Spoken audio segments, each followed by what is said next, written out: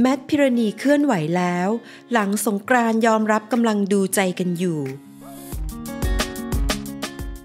หลังจากที่สงกรานเตชะนรงค์ออกมายอมรับว่ากำลังพูดคุยคบหากับนางเอกสาวแมทพิรณีจริง พร้อมทั้งปกป้องมิ้นชลิดาว่าไม่ได้เป็นแม่สื่อแต่อย่างใด พร้อมยอมรับว่าได้ไปเที่ยวนอร์เวย์กับสาวแมทมาจริง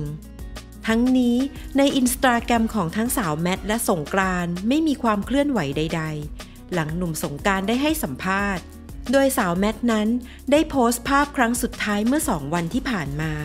แถมยังโดนคอมเมนต์ถล่มหนักอีกด้วย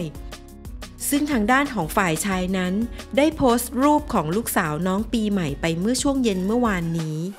แต่แม้ว่าสาวแมทจะไม่ได้มีการโพสต์ใด ๆ ในอินสตาแกรมของตัวเองนั้น แต่เธอก็ได้เข้าไปคอมเมนต์ใต้รูปของเพื่อนซีอย่างแต้วนัทพร ด้วยการส่งรูปหัวใจและอีโมติคอนจูบไปให้ทำเอาแฟนๆเข้ามากดไลค์ไม่น้อยเลยทีเดียว อย่าลืมกดติดตาม พร้อมทั้งกดรูปกระดิ่ง เพื่อแจ้งเตือนทุกครั้งที่มีคลิปใหม่ๆ จะได้ไม่พลาดคลิปของเรื่องเล่าข่าวค้นนะคะ รักทุกคนค่ะ